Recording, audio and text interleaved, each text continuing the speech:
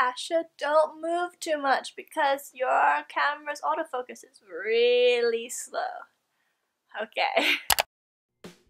Hi, so I don't know if you're aware, but I surely am. The 2016 Victoria's Secret fashion show has, has finally dawned upon us. It's either a time to either reflect on your physical appearance, or two, reflect on your diet, or three, just reflect on how the world is just not fair. Angels, just angels. And as you can see, I tried to um, dress up for the occasion. I don't think it came across very well. So dear Asha, how does this video relate to anything to do with modeling?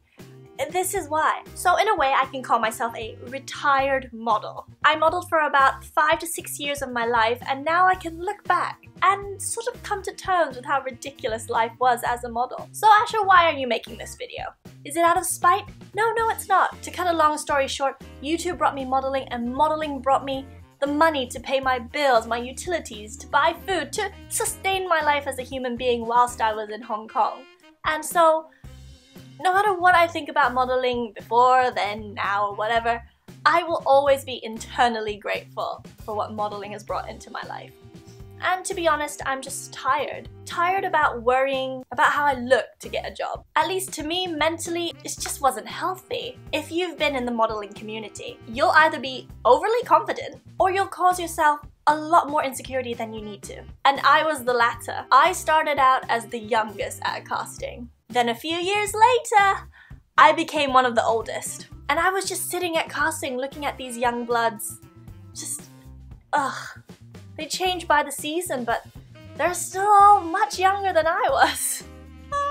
no matter what, there will always be skinnier, prettier, and younger girls out there. No matter what your parents tell you. Love you, dad. Here's the thing, because every time I went to a casting, my dad would always reassure me. He would always tell me, you have such a fresh face, it's their loss. Or, you're so much prettier than the other girls. Dad, you're biased. It's because I am your spawn. I am your kid, dad thank you, but that's not the case. so let me get back to the main point here. In this specific career, your job interview struggles aren't the most common. During these job interviews, unlike most, you're not getting judged on your education or any of your certificates. You get judged based on your looks. I mean, comparing your CV with your educations and your qualifications is one thing, but comparing your DNA, your genes, just your genetic makeup, with other people is just stress overload. Nobody needs that in their life, especially me. Okay, I'm gonna go say we now, even though I'm a retired model, but because I'm retired, I still count myself in the modeling community. So I'm gonna say we now. I hope that's okay with all the active models out there. Please don't reject me. We have zero qualifications for what we do. There is no degree in posing. There's no certificate for smiling. We get judged based on our smiles, our posing, our skin, our height, our weight, and our DNA. Those are our qualifications. And of course, I wasn't complaining back then. I can't complain now because I'm not in it anymore. But back then, I really, I couldn't complain because I knew what I signed on for. I knew what to expect when I signed that contract. This is what was gonna happen if I wanted to earn money and if I wanted to get a job. I would have to get judged on all this this. Needless to say, I didn't earn too much, but that's a different story.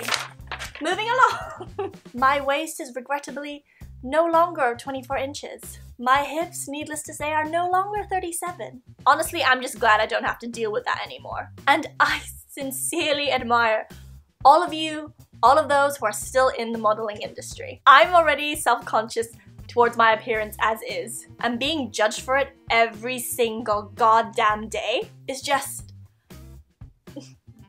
you go, you. You, you, you nail that casting. I believe in you. Go get him, girl. And see, that's the thing with modeling. Just because you go to one casting job interview, that's not gonna be your job for the rest of the year. That's just for that one job. It's individual jobs. So for each individual job, you have to go to individual castings, which means picture yourself waking up and getting ready for a job interview every single day. But all that matters is how you look. Wouldn't that drive you crazy? Oh, that drove me crazy. It's still, just thinking about it drives me crazy. This picture used to be my rice bowl situation. Rice bowl? So there's this saying in Chinese, 全饭碗 or 脏饭碗. Directly translated, it means to fight for a rice ball. And in this cryptic message, rice ball actually means job. After I took this picture, another six or seven models entered the room. And just the percentage of me attaining this model rice ball started just dwindling in front of me. Just practically minus 0%. Is that even a thing? I don't know, I'm bad at math. Huh, still a model. Too many mouths and not enough balls. And we were all pretty fucking hungry. No pun intended. Because you know how people say models don't eat? We're hungry for the rice. Okay. No matter how many episodes of America's Next Top Model you've watched, I honestly believe that personality plays a very, very small role in castings very small. I mean, come on, how much personality can you share in just five minutes? Without you coming across as overly confident or conceited or mildly self-centered. How? How? Me, me, me, me, talk to me. See how easygoing I am? See how photogenic I am? Me, I'm so much better than her. Me, me, me. Please hire me, please, please. It's been so long since I booked a casting. Please, my agency is threatening to deduct my, my pocket money and I don't I don't know how many more model dinners I can go to without being chucked out of the club. Just I can't. Everyone back home said I was so pretty. That's the reality. And this scene replays, just like the person before and after you. They've seen a thousand copies of you. So it's simple. If they like what they see, if they approve of your DNA, you get the job, the campaign, the TVC, the money. If they don't, maybe next time? At least until they've changed who's in charge.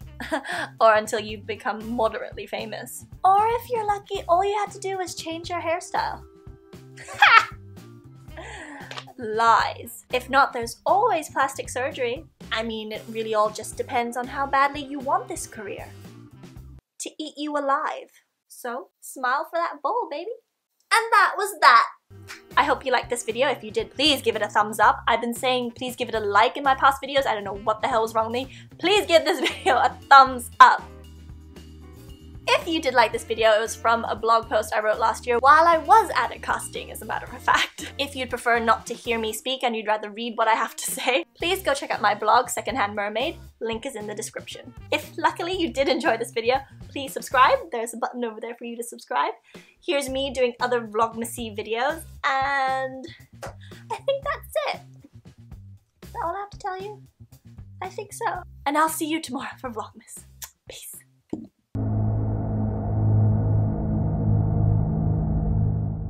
Book me! Book me! I'm all personality.